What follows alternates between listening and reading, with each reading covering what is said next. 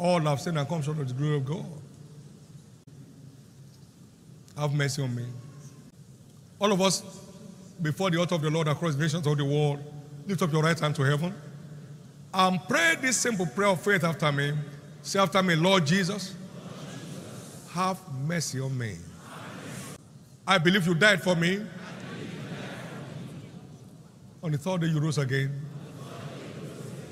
to set me free from the power of sin.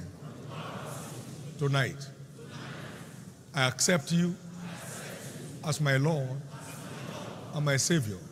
I'm not a child of God. If you pray that prayer from your heart, now I cover each of you with the blood of Jesus. Remain covered against all satanic assaults. You make heaven at the end of your journey. Please submit your cards out there to those officials of the church around you as to find your way back to your places.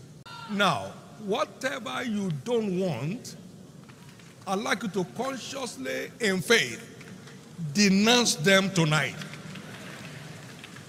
You know what they are. Whatever you don't want to say again in your life, denounce it tonight.